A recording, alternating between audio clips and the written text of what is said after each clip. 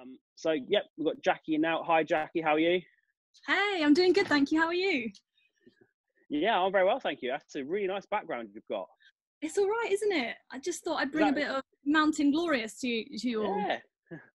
With Zoom now, you never know if everyone's using a virtual background, or if that's a real one, but I think that's yeah. a real one, isn't it? This genuine. Uh, this is awesome. Thanks so much for having me, Josh. It's amazing what you've put together, and um, I hope we can make raise well and beyond of the 10 grand over the next few days. Yeah, I, I think so as well. Um, so, for anybody who doesn't know you, are you able to quickly introduce yourself, um, what you'll be covering, and then we can just kick it off um, and get stuck straight in? Absolutely. So I'm actually going to, sh- I've got some slides here, so I'm going to share these. Yeah. I've got the ability to. There we go. Working, yep. Great. Um, Fab. So, um, so I'm Jackie Tomes, um, and I run a, a, a business called Property Strategy, uh, and also Tomes Homes. Uh, so Tomes Homes, we invest in blocks of flats uh, on the outskirts of Kent with investment partners, and we do the buy, refurbish, refinance strategy. Uh, and we built that up since we started back in 2014. I bought the first property for 108,000 pounds, and uh, pre-corona, the portfolio was worth about six million pounds. So it's been an epic kind of seven-year journey to get to this point. And from everything we've learned in doing building up Tomes Homes, uh, that's what property strategy has been built on, and we're all about detail, structure, analysis, focus, and clarity. And that's what I'm looking to bring today through this session here. Wow, amazing! Yeah, we, uh, we certainly everyone's going to take a lot away from this. Um, I'm really looking forward to this. I'm going to be sitting with my notepad um, and really taking loads of notes. What I'm going to do is I'm just going to turn mute my mic, turn the video off, um, so hopefully we get as strong as possible connection for the screen share. Um, and yeah, let's get started. Great. Fab. So let's um, let's get straight into this. So the agenda that we're going to be covering covering on this morning session, uh, we are going to be looking at uh, predictions for the property market values and our prediction for what exactly the curve is going to be looking like. Uh, we're going to look at the factors affecting the property market and how we see those factors that are influencing market values, uh, how we see that evolving over the next 12 to 18 months. Uh, I'm going to talk about discounts. Um, so if we're looking at pre-market, uh, pre-corona market value, what sort of discounts do we need to get at various parts of the uh, of the curve to, to de-risk? Uh, then we're going to look forwards, uh, principles to inform your 2020 strategy. What needs to evolve and change? And what key actions do you need to take to move yourself from just survival, because that's the first thing we've got to do, then we can adapt, and then we can move into thriving. Uh, let's remember what this is all about. Um, it's amazing how many people are giving their time over the next few days, and it's all about this. Uh, please donate now. If you haven't donated already, please do. If you've donated and you think you could do more, please do as well. That's the link uh, there. I'm sure Josh will be sharing that uh, in the groups and on the live stream as well. So uh, please just take a moment to give what you can for uh, for a cause that really needs as much of our support as possible. Um, so this is us. This is Tomes Homes. Um, our vision is about making renting better than owning. So our properties are offered uh, to the private rented sector, um, and our vision is to make that whole experience through providing a high level service and through the great team that we've got to make it just superior to what else you would get on the rental uh, market. Uh, and that vision is something that's evolved over the last seven years since uh, Tomes Homes was uh, just a crazy idea when I was sitting in that ski chalet over there.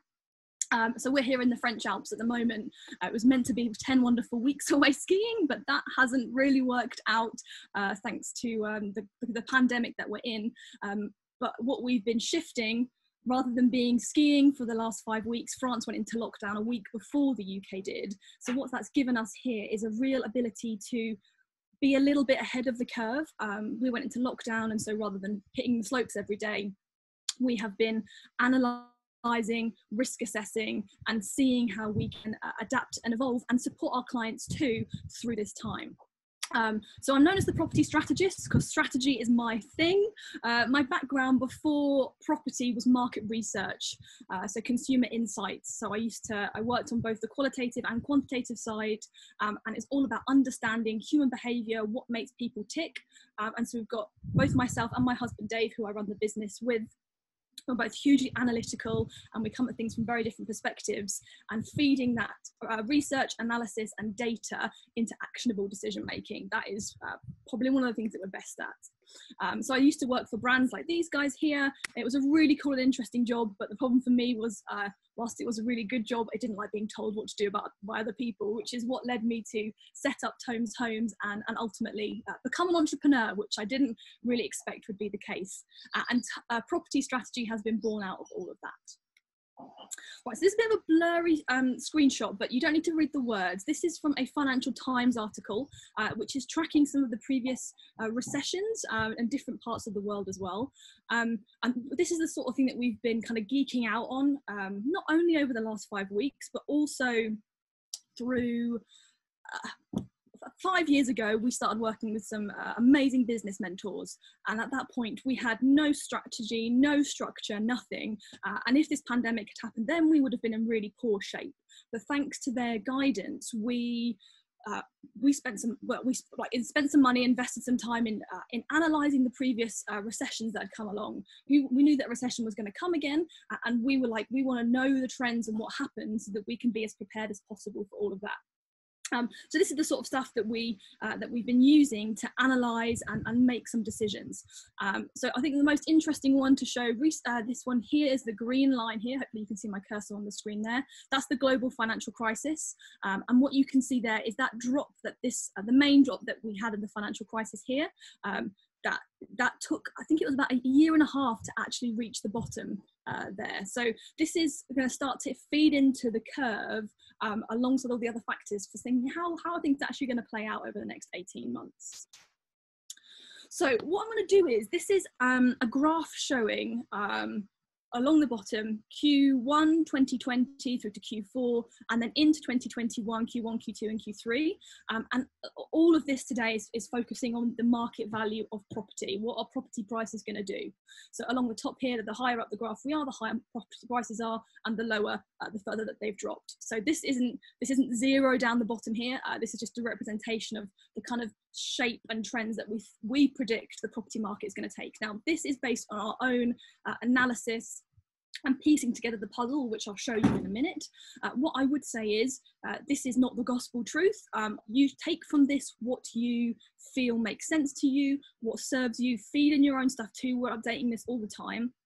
But what is going to be really helpful about all of this is that it gives you a narrative under which to make decisions. And whether it's this or whether it's an adjusted version, we have found this so helpful to make decisions because suddenly, when everything just gets thrown up in the air, uh, you can't make decisions on anything anymore. And it just sends you into a swirling vortex of chaos. And that is what we want to get rid of.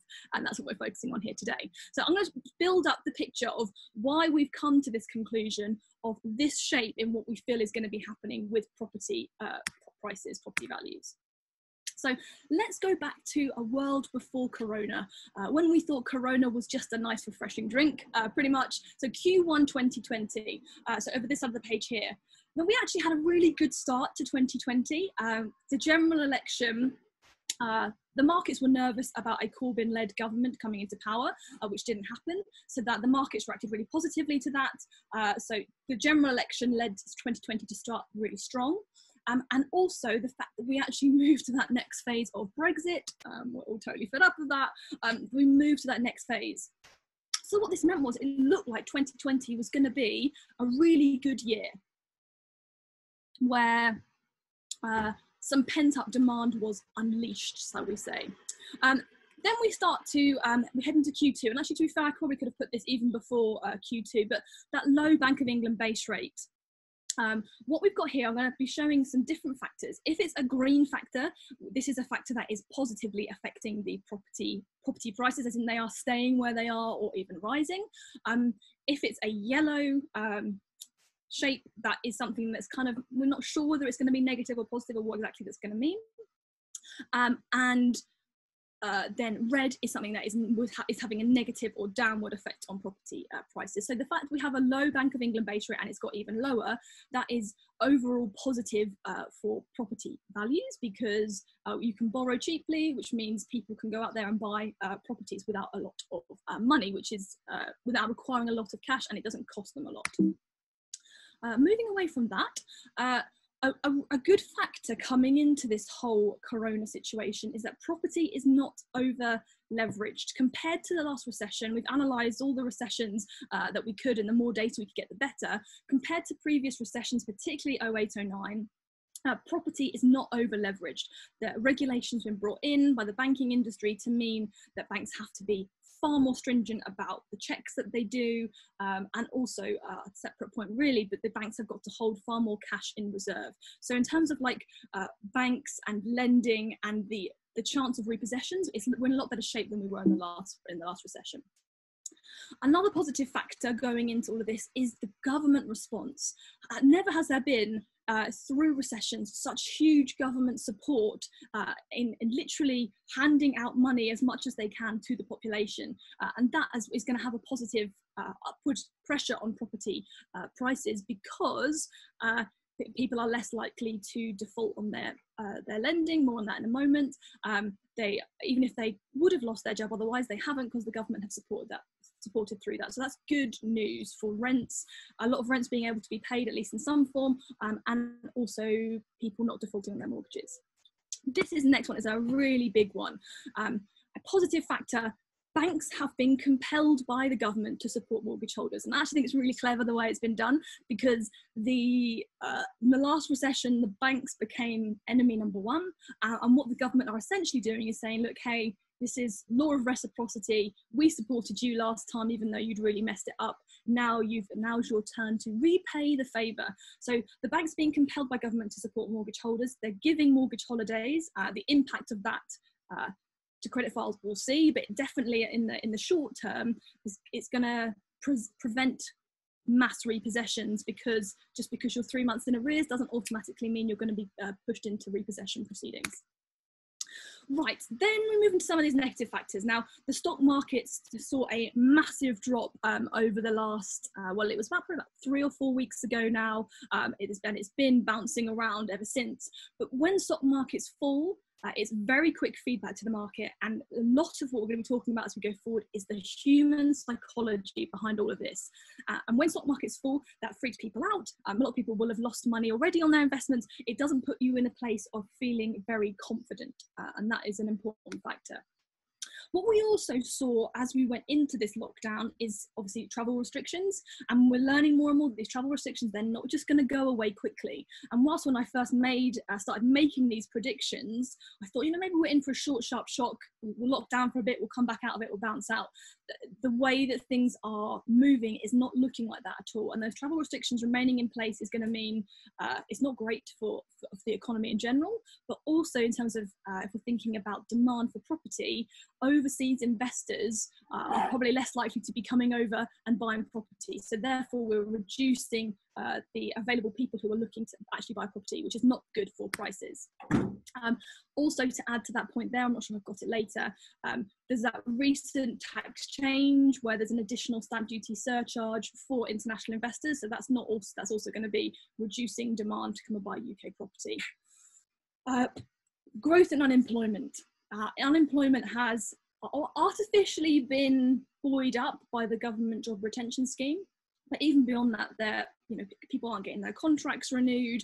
Um, people didn't have. Uh, people are people's businesses are closing, and so obviously the furlough thing isn't there anymore. So that growth in unemployment is going to lead to less interest in buying property uh, because if you're in survival mode, your first thought is not to go and uh, move house to buy a new property. Uh, so that's going to put a that's a, the opposite to one of the green ones it's putting a dampener effect on on demand in the market. Here's when we've got lockdown come in um, and the moment i've just put it at this red point here is really like q2 into q3 um, but that lockdown it's all of a sudden economic activity has just fallen off a cliff in a way that's never been seen before. Um, um, and I actually, I think maybe this line here, the way that I've got it in terms of the angle, I think it could even be steeper um, than that, just because it's so quick how, how fast everything changed. And suddenly people aren't spending money anymore, they physically can't, which is having a really negative impact on the economy. And it's not just going to come bouncing back because it's having such a big impact on businesses. More on that later. Uh, of course, valuation challenges. We actually had a valuation booked in for two days after lockdown. One of my clients had a valuation booked literally the day after. Uh, valuations are not happening. Lenders are trying to adapt, obviously, to do um, AVM valuations, so their desktop valuations, but those valuation challenges are going to mean that well banks are more cautious. If they're doing desktop appraisals they may well depress the, the values that they're taking or at the very least affect the loan to values. So those valuation challenges are going to lead to depressed values not least because it means the cash buyers are in charge and when the cash buyers are in charge they're going to want lower prices and that's going to lead to a downward pressure on property prices uh, reduced loan to values, that is also going to impact how many people are actually able to go out there and buy property because suddenly those those like I think there's five, 10% products have pretty much disappeared from the market. That's the resi sector anyway. But buy to let, at 85, 80%, they're gone. And even some lenders are going down to like 65%. So you need more cash to buy property right now, which doesn't help uh, boost the demand. Uh, and un- all of this is leading to huge uncertainty. Uh, and uncertainty does not give people confidence. And when people have, don't have confidence, they don't do stuff, they don't buy properties. So that is leading to less demand in the marketplace too. Now, interestingly, the fact that we're all in lockdown at home is also meaning that maybe you were thinking about selling your property, but maybe you're not anymore. So you don't want people come around to do viewings. Uh, you're just like, we'll just, we'll just sit tight where we are for now. So that actually means there's less supply coming to market. So in a way that helps to balance things out to some degree. This is probably the biggest one though. A huge drops, a, huge drop in uh, property transactions uh, transactions because they just can't happen. The government don't really want you to move, so a huge drop in uh, activity in the housing market will mean the only people who are selling are the motivated ones.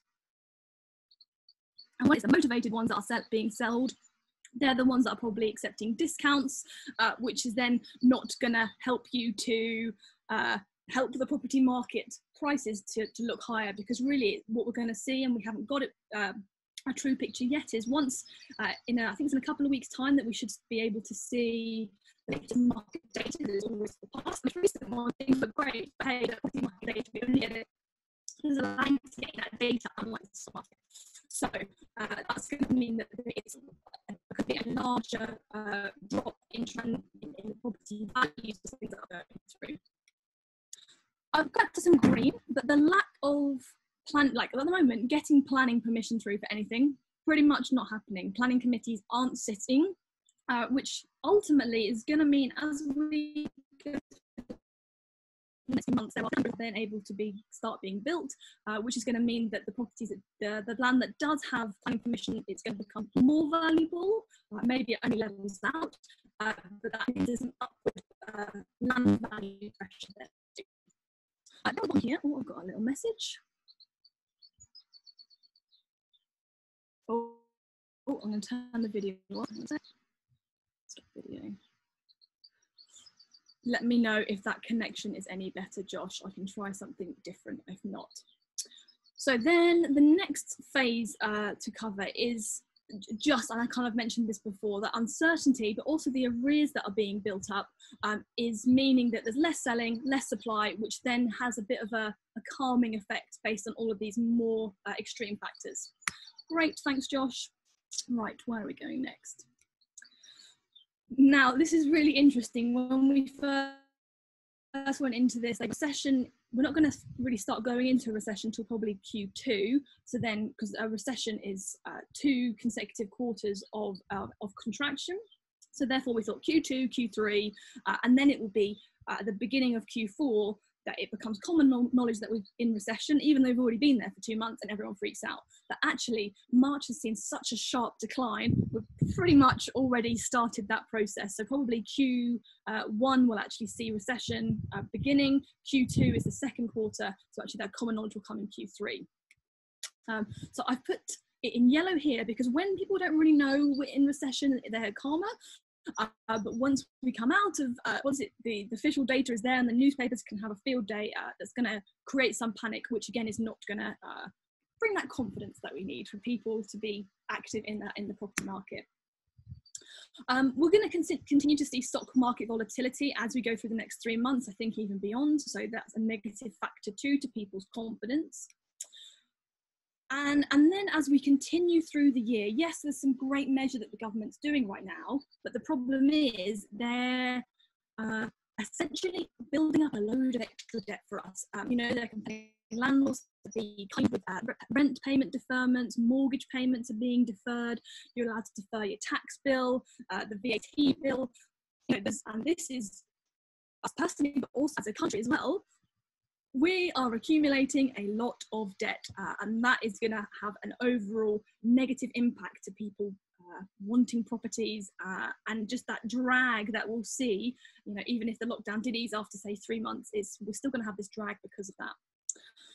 Interesting one. Brexit deadline looms. I've got that. So, Q end of 2020, maybe might think, well, maybe things are starting to get back to some version of normal. Um, maybe things will start to pick up. Now, I think the difference here is Brexit. Uh, the Brexit deadline, the transition period ends at the end of December. So, where there may have been some confidence returning, everyone's going to get obsessed about Brexit again, uh, which isn't going to be good for confidence. People are going to be waiting and seeing, kind of like they were um, at the end of last year, or even last year or the year before in general. Just that Brexit concern has put a lid on on a, on a lot of on the property market in general. So Brexit deadline is looming, um, so therefore that continues to have a negative effect. Um, we then start to see the stock lockdown measures starting to release. Uh, depending on how that looks, uh, that could be slightly more of a positive factor. One thing that we've got all the way along the bottom here is that social distancing is going to continue in some form until there is a vaccine. Everything that I've read we're looking at 12 to 18 months until we have a vaccine and actually hearing more about the fact that it's it's mutating um, as a as a virus you know who knows how that's going to play out. And that social distancing is going to have an effect on the wider economy and on people's uh, confidence too. So that um, that is going to have some impact as well.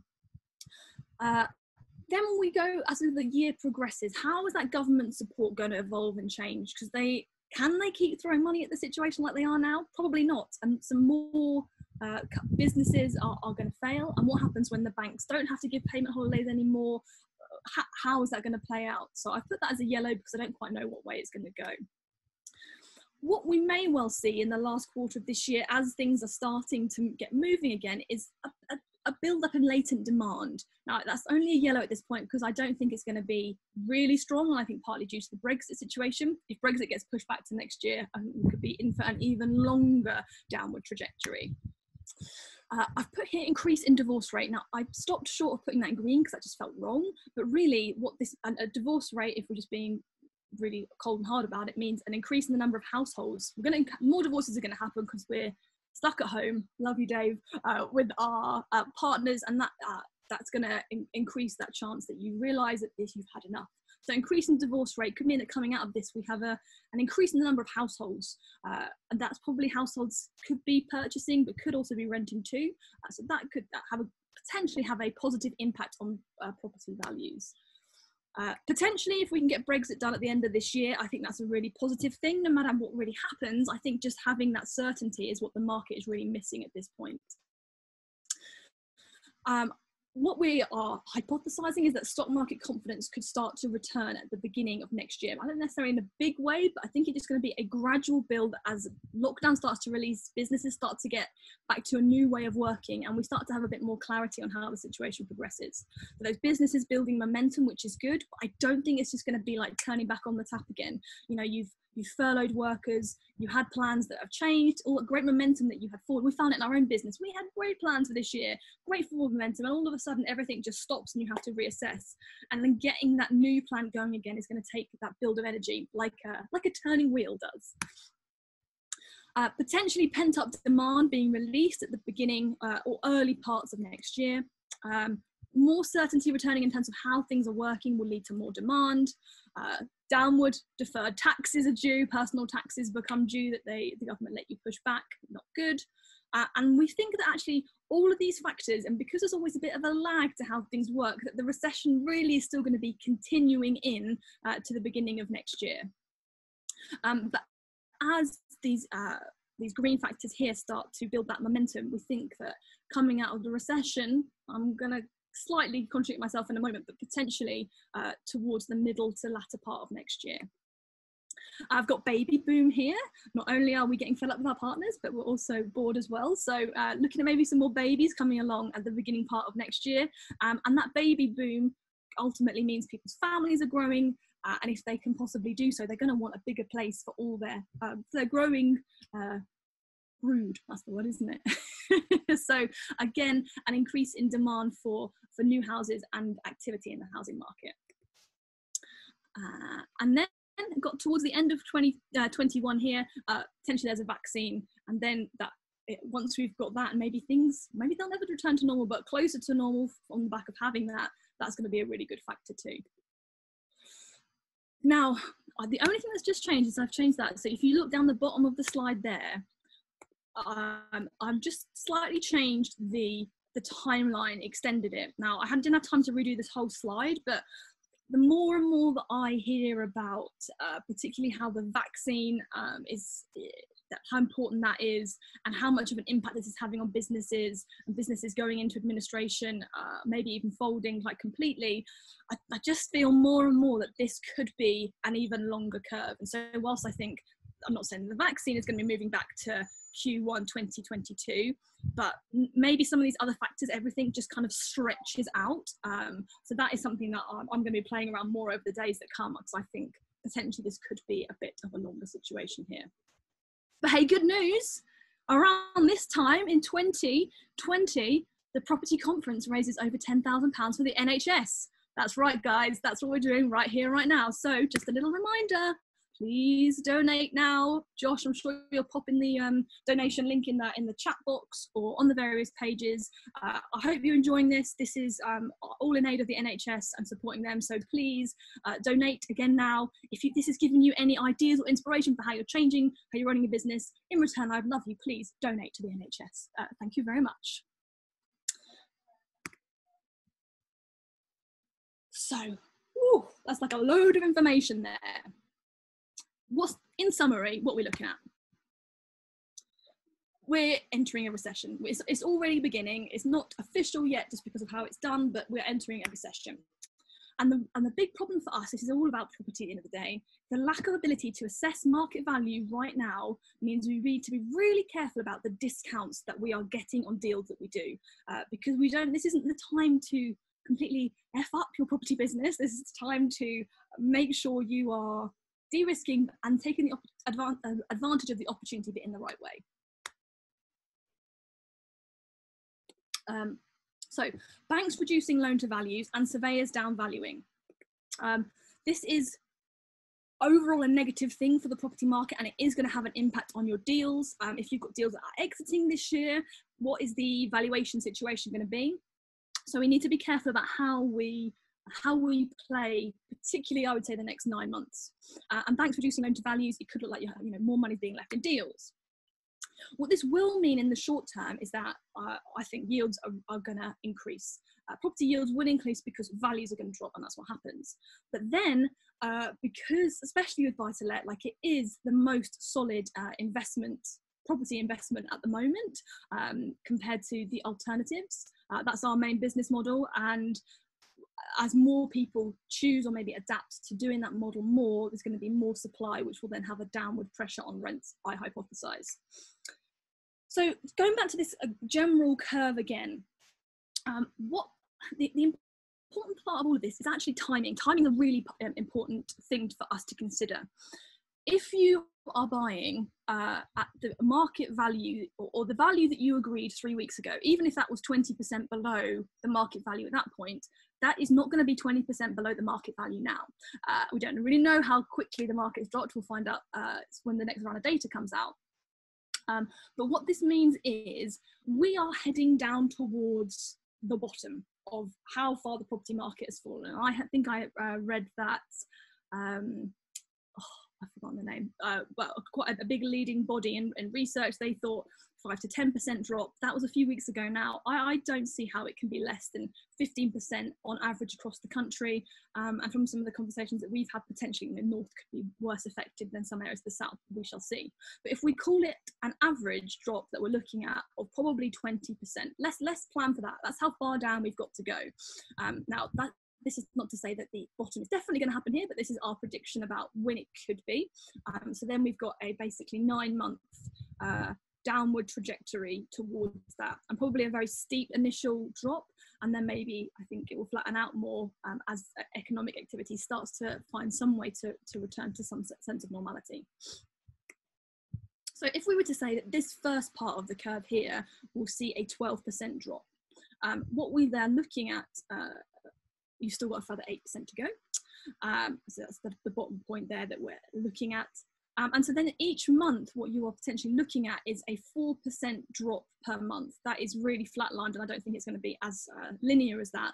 But let's, let's kind of work on that basis. So the point of all of this is to say that if you buy at whatever the market value is at this point here, in terms of refinancing, because that is a play that most of us are using in some way in property, if you buy at the market value here and your model is some kind of buy something refinance, then you're gonna need to wait until we're at a similar place in the market um, but over here.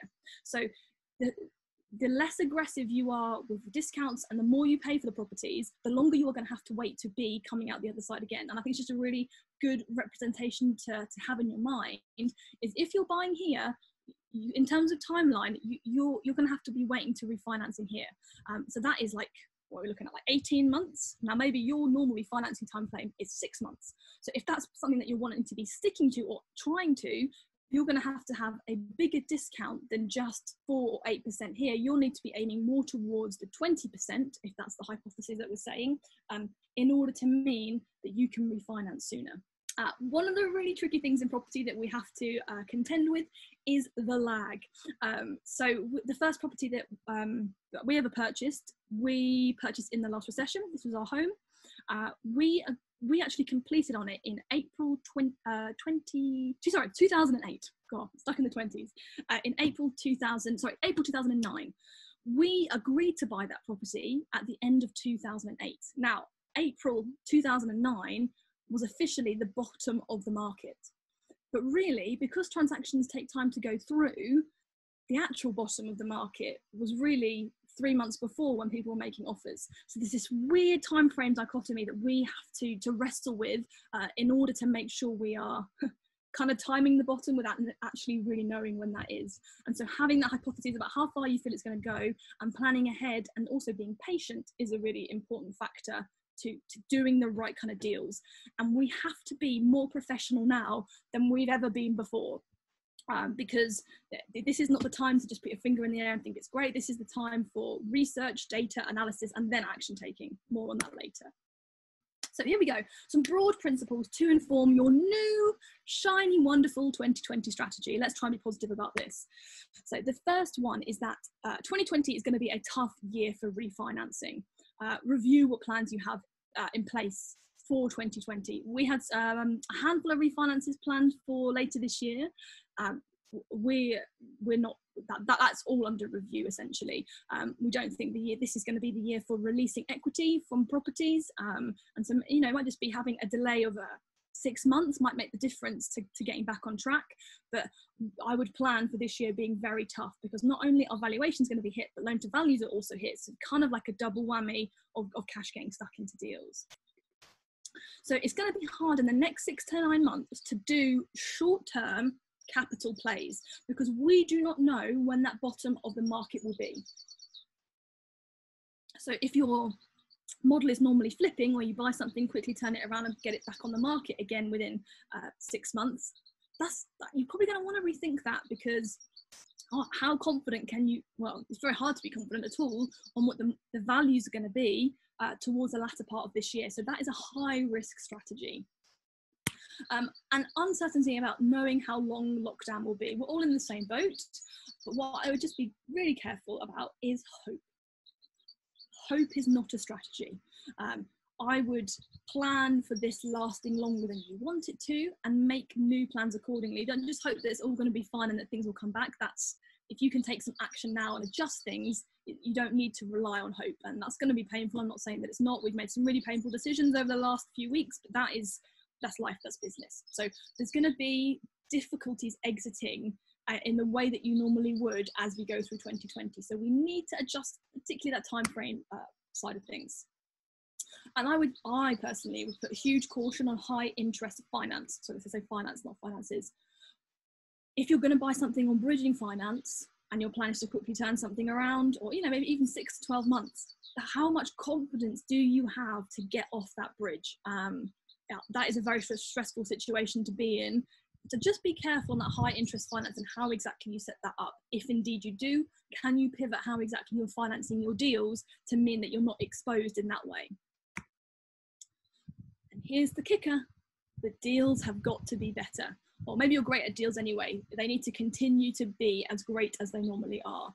Um, so we need to accommodate the fact that there's a, a highly increased chance of values dropping, um, and so therefore it is riskier.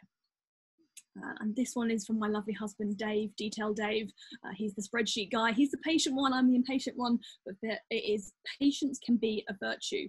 Be just really consider your timing on your next next acquisition very carefully uh, because I know we all think, oh well, the, you know, when everyone's scared, you do the opposite. Yeah, but you, you do the opposite, uh, but do it with a plan uh, and do it having thought through where things are going. Uh, because if you can time this right, 2020 could be a great year for you. If you're impatient and you just forge ahead like a bull in a china shop, it could be a really bad year for you.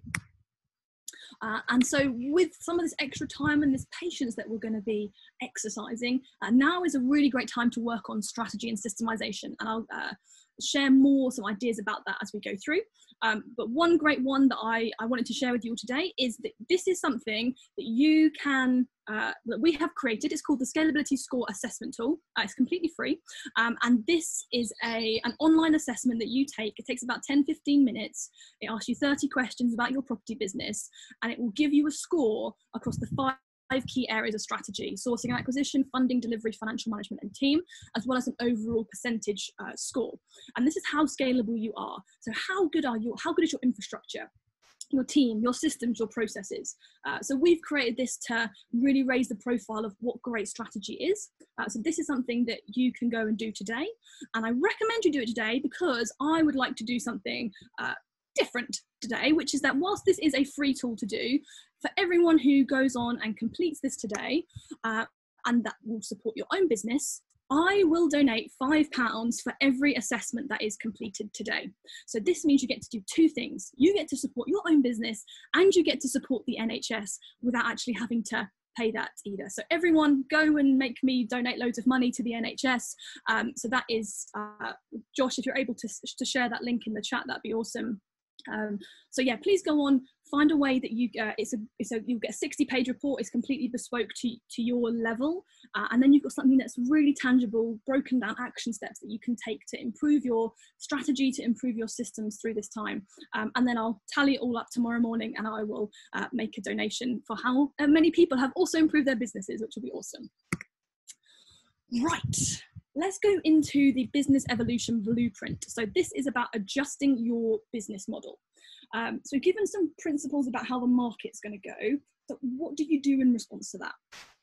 So there are four key areas um, to help you adjust that, how you're operating, how you pivot. So first one is time frame, which I've alluded to quite a bit already. Then how do you adjust your business model accordingly? What finance are you using and how can that change to make it less risky? And what's the sort of condition of the properties that you're working with? So time frame can you amend the refinance time frame so maybe you normally uh, buy refurbished refinance within say six to nine months. Obviously six to nine months would be a great time to refinance. Could you adjust your deal to mean so that you're refinancing in 18 months or two years or maybe even longer? Could you adjust the uh, the approach that you've got? Also time frame to purchase. Uh, so maybe you've already got some deals in the pipeline that you've agreed at pre, uh, I call it PC, pre-corona prices. So then maybe they the vendor's happy to wait, um, but but they want that price. Um, so you could do something more creative where you've got some kind of option or lease option, uh, but just getting the timing right on when you actually complete on that on the basis of when market value is going to be back in your favour and also the timing of renegotiation i'm sure like we do you you have deals in the pipeline that you're trying to buy that you've agreed at market value uh, three four five weeks ago how uh, the problem is going back to the timing and the lag that we have with data vendors who are selling their properties will believe their properties are still worth what they were then. So if you go back and unless they're really motivated and try and re- renegotiate too soon, you probably find that you don't get a great response. So timing that renegotiation to be in line with how people's mindsets evolve. Um, then you've also got the end, uh, so business model, some considerations here. Who is your end user? Who, if you're a, a large portfolio landlord, who are your tenants? Um, maybe before, maybe usually you have a uh, professional tenants, but maybe professional tenants are not finding it as easy to pay their rent as they used to before. Could you uh, adapt how you, uh, who you serve? Um, and uh, uh, diversify the sort of customers that you have in the portfolio uh, from the risk analysis that we've done, approximately 50% of our rent across the portfolio is in some way backed by the government, so it's benefits in some way or another, which has actually given us a really nice blend of different types of income, uh, which has made it more robust. Purchase type. Um, so exactly how are you doing it? Could you be more creative? Uh, could you do assisted sales over a longer period of time, or even assisted sales within this time frame uh, could mean that you can get a better. Uh, you can make a deal work where it wouldn't before. Maybe a joint venture with the um, like with the landowner, for example. How exactly are you purchasing it, and could you be more creative in that approach to make something work where it didn't before? Um, I think if rent to rent could be a really interesting opportunity for those landlords who haven't got a great arrears management process. Um, if you can, even if it's quite a lot lower than market value, give that guaranteed rent, that's going to really help. Um, and also, of course, purchase price. So, what percentage discount do you need to get on the uh, pre corona levels to actually be comfortable? Um, so, being really clear on that. Finance, uh, what type of finance are you using? I've alluded to bridging finance. Is Could you pivot the exact finance that you're using. So one of the deals that we've got at the moment, we were planning to do, it's a block of five flats. We were planning to do a buy, refurbish, refinance approach on it uh, and get out within five to six months.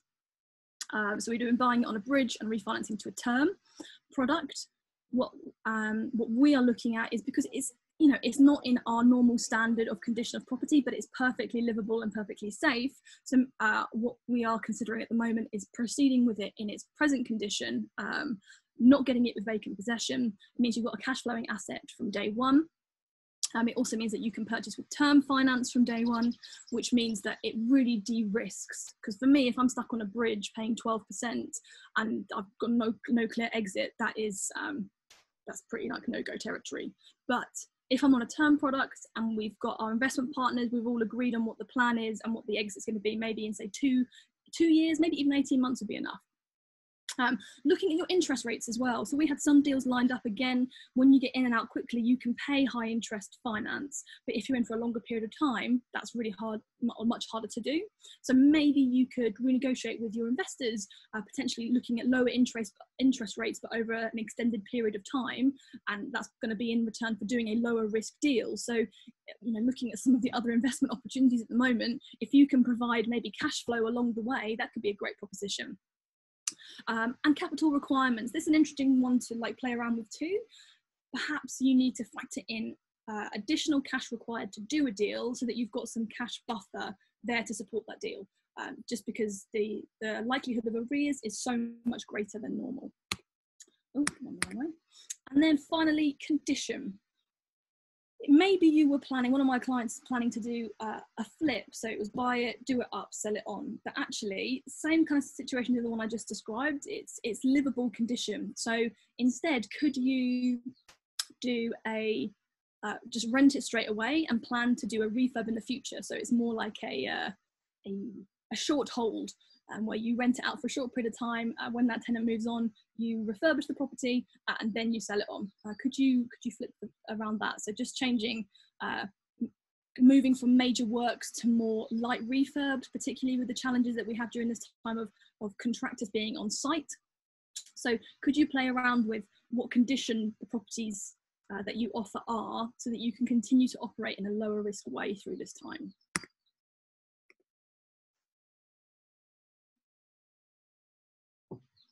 So, some additional considerations for your 2020 strategy. How are we doing? Good. Um, open your mindset to different time frames. I think I've made that one very clear. that you really focus on cash flow in the short term. I don't think it necessarily needs to be the highest cash flowing assets. Like in a way, HMOs are higher risk because of being able to uh, voids once they're there, they're harder to fill. So even if it's um, a lower, you know, even if it's buy to let rather than HMO, if you can get it cash flowing and you can sort out your arrears management process, that could be a really good um, way to move forwards.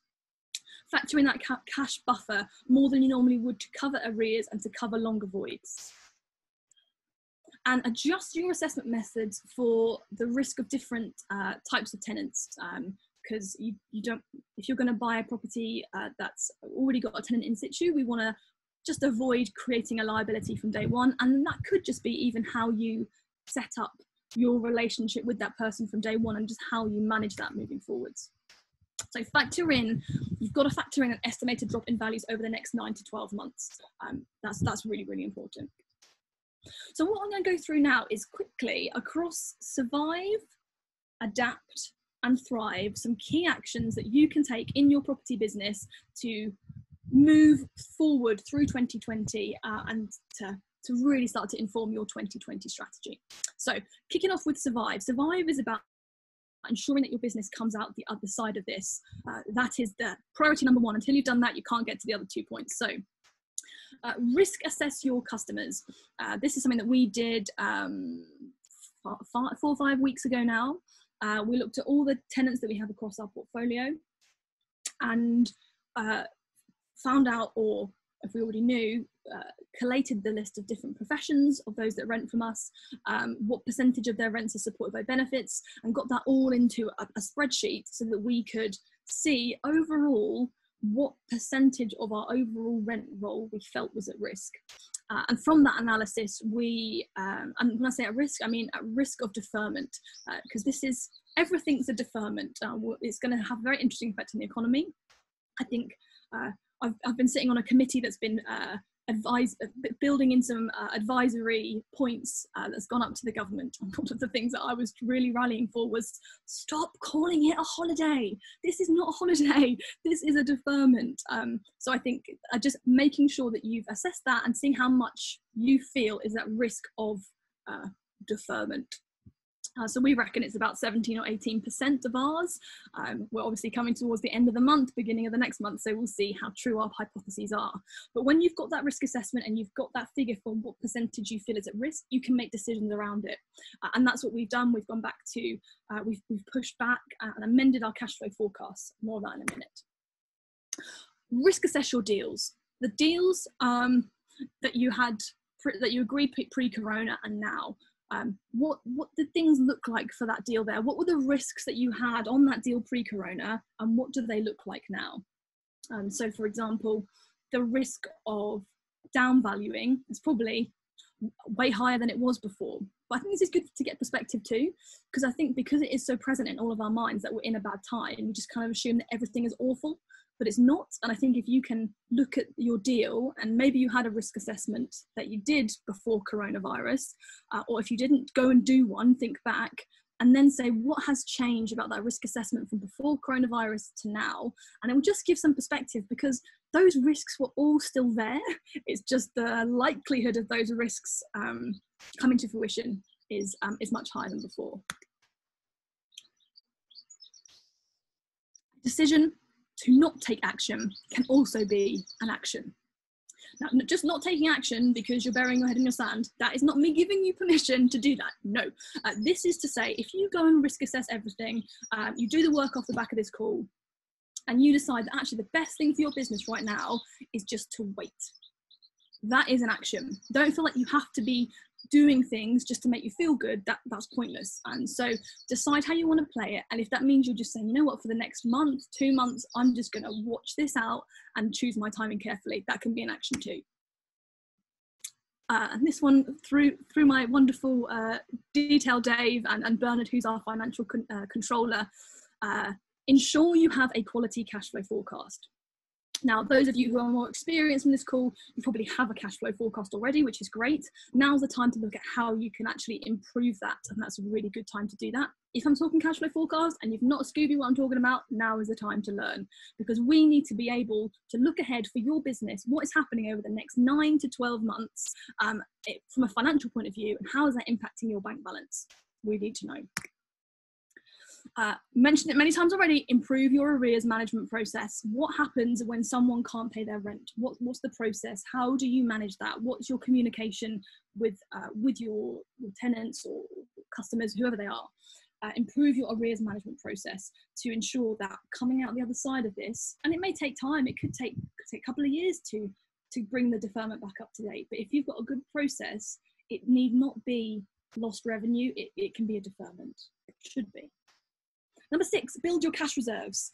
Uh, this is something that our business mentors told us back in 2015, and we have focused so hard on it ever since then. And it is really hard to do in property because we see like a hundred grand in the bank and we go, could put that into a property deal. so it's really hard to keep cash in the bank.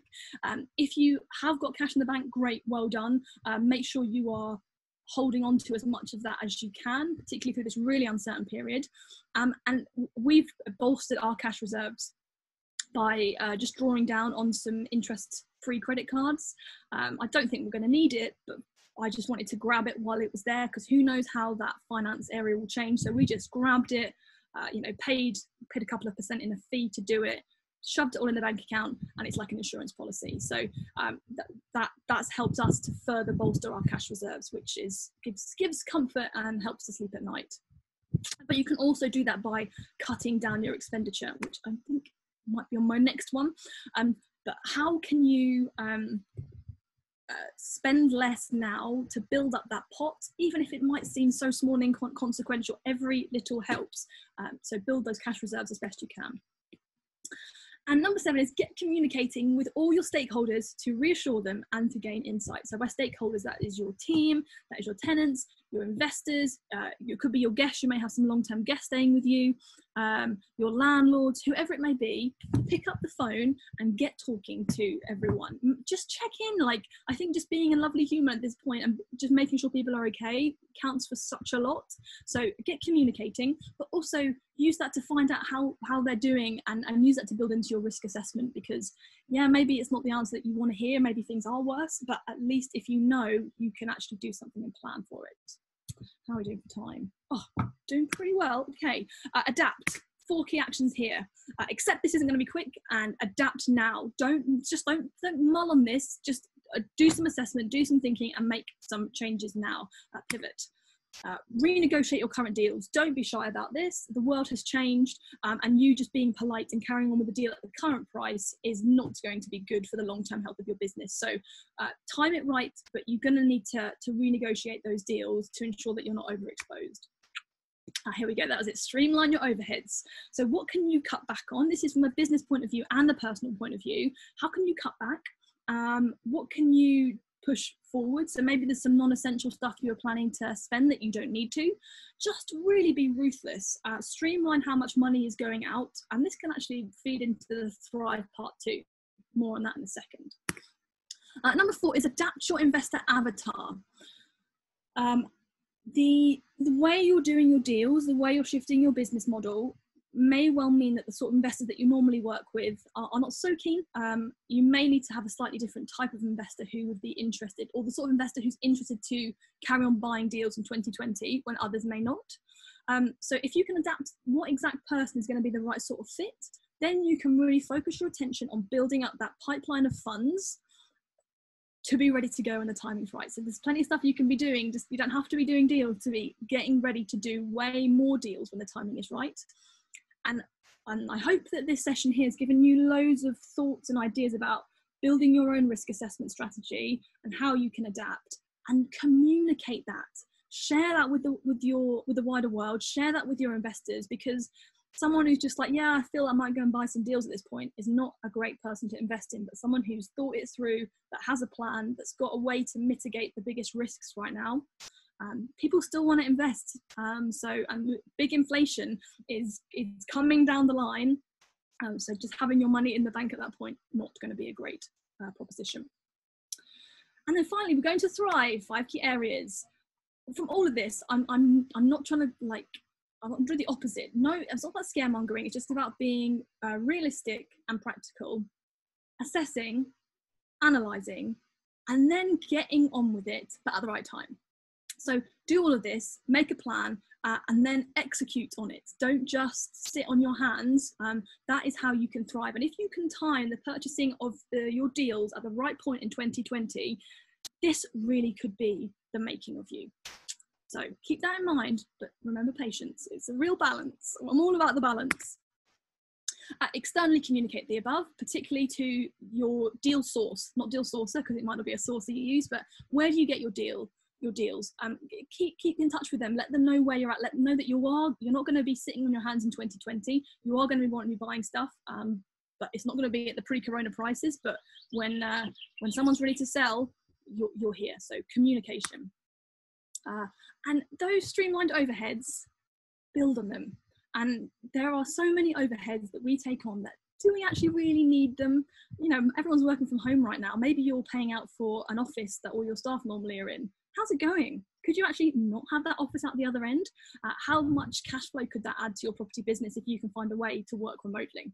So don't just come out the other side and go back to where you were before, but if you can keep that streamlined overheads, you could see your net profit incre- include, increase dramatically.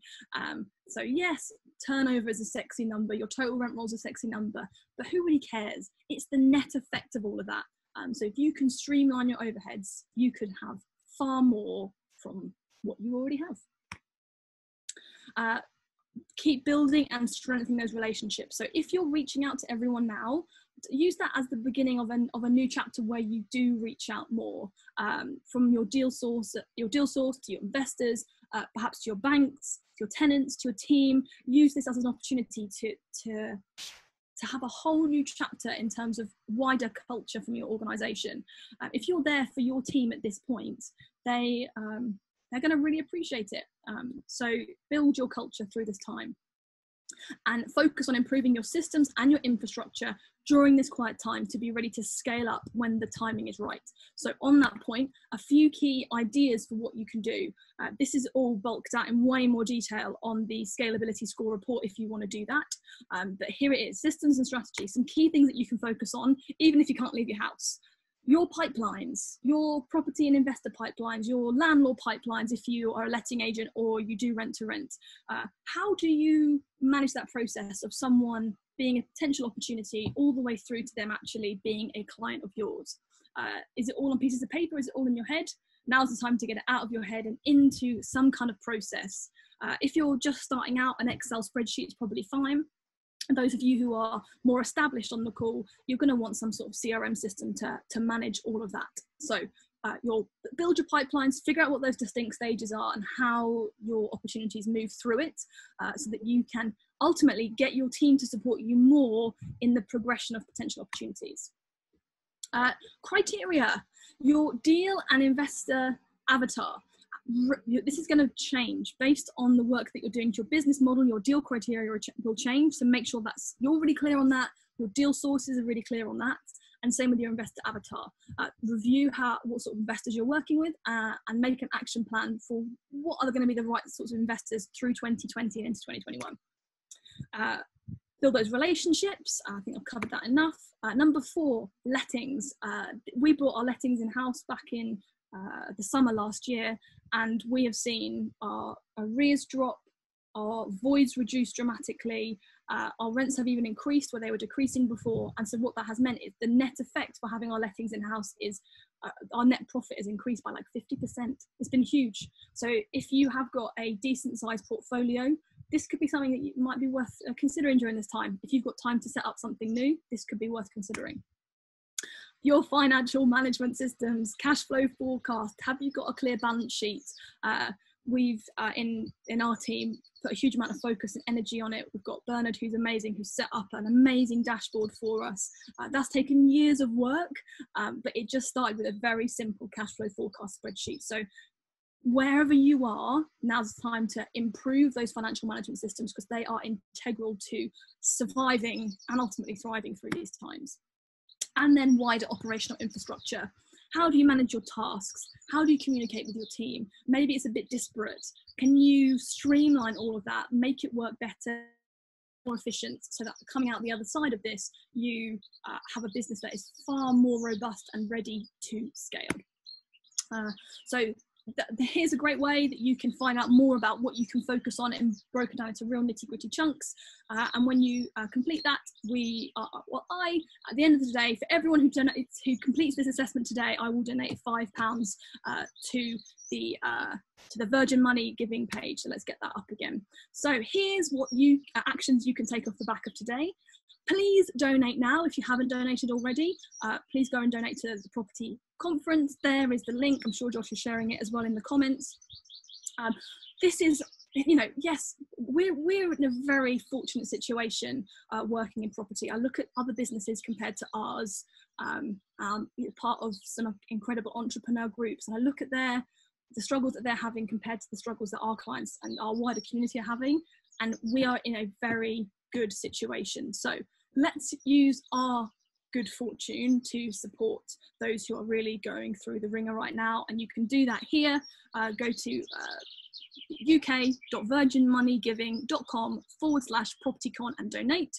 Uh, and you can uh, increase your donation without doing uh, without spending any more money by taking the scalability score assessment tool. So that's you go to our website property-strategy.com forward slash the hyphen scalability hyphen score and do it today and I'll donate five pounds on your behalf to the NHS. So that's me pretty much done with the main part of delivery that I've got. I'm ready to take any questions that you may have. Um, so Josh, please do fire them over. Yeah, absolutely. First of all, thank you very much for that. Incredible presentation, so much value, and really no detail spared on that. Um, you're very thorough, and a lot of people have taken massive value from that. Um, let's just see where the questions are. So we've got a couple here. So we've got one basically. So if you're purchasing a property now, what, yep. what's the best thing to do? Um, is it kind of best to put out um, or renegotiate the price? What would your recommendations be if you are currently in the process of purchasing a property? Uh, I would say my, my first reaction would be to, to look at how you can make it work still, but ultimately going to be a, a, lower price in most cases. Or, or maybe if it's is the same price it needs to be a more creative approach like a like a lease option for example where you've got an option to buy for the next five years but at the current price. Um, so it might be an adjustment to your business model would mean that you could still make it work or it just might need, need, need to be that you drop the price. Um, and i think particularly with like projects that were planned to be refurbishments where you were having to buy on bridging finance, if you could pivot that to be something where you could just rent it out from day one and you're probably going to have a larger void at the beginning um, just because of the challenges of getting things rented at the moment but if you can factor that into your figures um, and get it at the right price um, and so for us we're looking at at least 15% drop on our current um, uh, agreed prices to, to feel comfortable to proceed and then that's also if you remember the curve if it's 15 if we think it's ultimately going to be a 20% drop but say we buy for 15 it's just going to mean that the timeline to being able to refinance is just going to be further down the track. So it might, it might just by extending your time frame might make something work uh, where otherwise wouldn't. So yeah take that um that the business evolution blueprint look at the deal look at the um the, the exact business model look at the timeline, the way you're financing it, and the condition, and just see what you can pivot as part of that deal, and, and see. There are probably a few options. See what could work.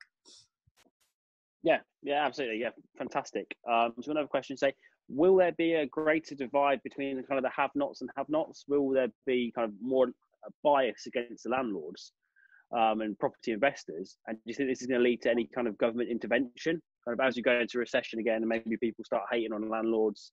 Can you see any of that taking place? I think it can't really get much worse, can it? Like, we're already. I think Richard Branson's taken a lot of flack and a lot of attention away from us at the moment.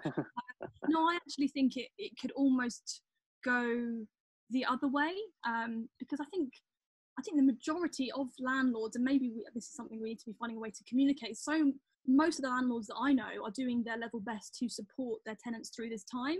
Um, so I think no, I, I don't. I don't think it's going to get any worse for landlords than it than it already is. And to be honest with you, we just by the nature of how things are set up, just have to be more flexible in our in our approach because we don't, you know, it's it, it's harder to go down the route of pursuing someone for debts than if you're a bank. Um, so no, I, I think I think we're going to be all right, and I think ultimately I reckon my money's on the I think Section 24 might be delayed uh, because we need there's going to need to be support to ensure that landlords um, actually continue to, to rent their properties to the people who are in uh, in arrears with them. But I also reckon that uh, the three percent surcharge, I reckon that will be lifted for a period of time because they're actually going to need us to keep the housing market from tanking in a way that ultimately affects residential um, owner occupiers. So no, I think I think we're all right. I think it's not going to get any worse than it already is. yeah, so yeah, at least we've got that to look forward to. And I agree on there. I think there's already talks of a stamp duty holiday, um, just to try and get the market moving again uh, off the back of this. Um, so, um, are the rent to rent models and service accommodation are still viable? Um, I suppose even referring back to the kind of graph um, from earlier on, um, it's kind of downward slope for the next couple of quarters. How service accommodation going to fare throughout this? Do you think?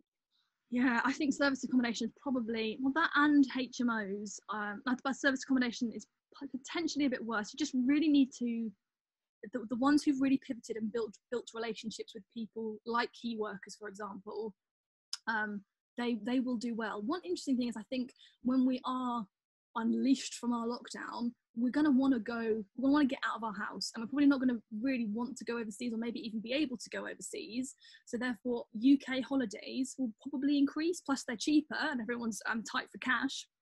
So, actually, if you're in an area where you could appeal more to holiday makers, um, that, that, that could be an interesting um, adjustment to more of a focus there. Um, but yeah, I think uh, factoring in if you're going to do further serviced accommodation deals at this point, it's more important than ever that they also work as a single let as a backup.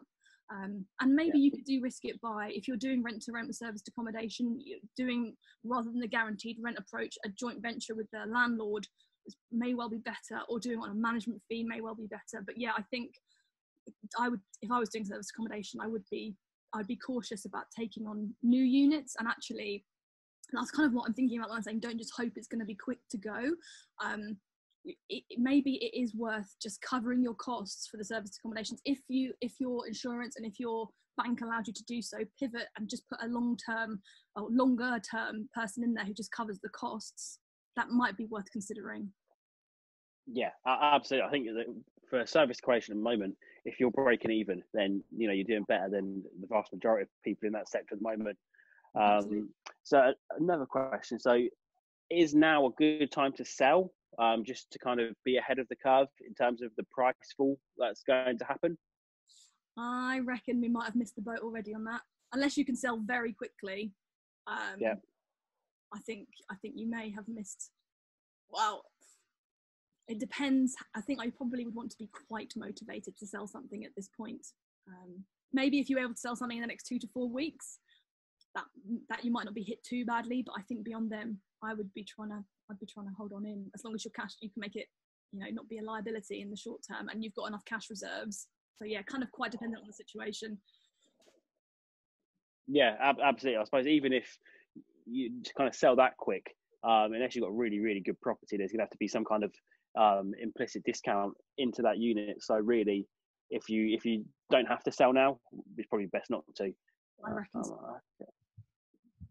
Uh, Okay, any other questions? Um, so you mentioned CRMs. Um, are there any you use, and what would you recommend um, for other people? So we, up until very recently, used less annoying CRM. Ridiculous name, but it's really I, I really like the. Um, it's really simple. Like if you're not used to using CRMs, and it's really it's not it's like seven pounds a month or something. So it's not um, it's not a lot of money. Um, so that that's something that we've used. We actually use Asana as our task management system, and we've started use turning because you can do project boards on Asana. Um, yep.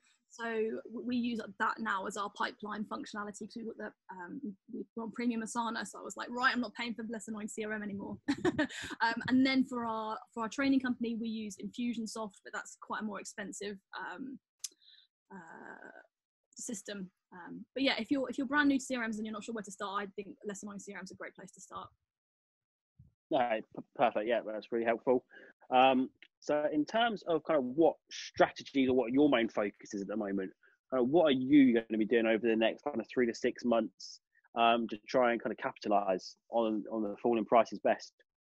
So we will be well from a risk management point of view. I we don't want to be buying anything on bridging finance, so we're going to be adjusting how how and what we buy to be on term finance from the very beginning, um, and what that may mean that we can't do, you know, we're not doing refurbishments at the beginning. So that yeah, so focusing more on the buy something that is pretty much cash flowing straight away, manage it well in the short term, and then when the timing is right, move to just refurb because we buy blocks of flats, so we'll just refurbish the individual units um, as we go through.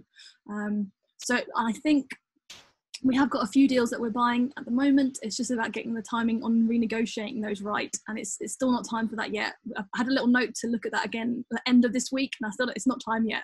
I reckon maybe another four weeks um, until we start to look at going back and renegotiating those. Um, but, but, it will be just a case of us keeping really a really close eye, as keeping us plugged into as much data as we can to decide when exactly we um, we strike. So yeah, refurbishments pushed back where possible. Uh, term finance rather than bridging finance, cash flow as, as the focus.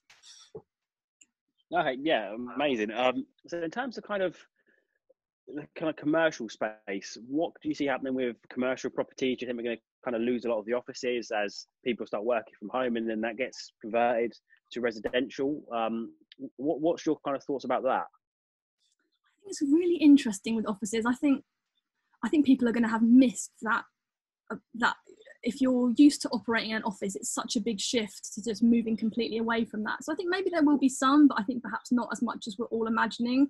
Like Zoom is great, but you know, nothing. Just being in the room with other colleagues as part during the week might change. Maybe it's that offices are occupied for less of the time, or maybe it's more office shares go on. Um, so yeah, I think there could be an opportunity for some conversions to residential where landlords where businesses, well, for one, maybe they've gone out of, of business so they don't need the offices anymore, um, or they realise they can they can work fine without them. So yeah, I think there could be an opportunity for that. But I think yeah, the high street, I'm very interested to see what what gets adjusted um, there based on that that it's you know it's really just accelerating the decline of the high street in a in a way that we could we all kind of knew was coming, but it's just come a lot quicker. So I think it's going to be interesting to see how that adjusts after uh, after the lockdown starts to release. Yeah, absolutely. I think especially with that, so a lot of the high street, it's, it's just going to really focus on them having an online presence.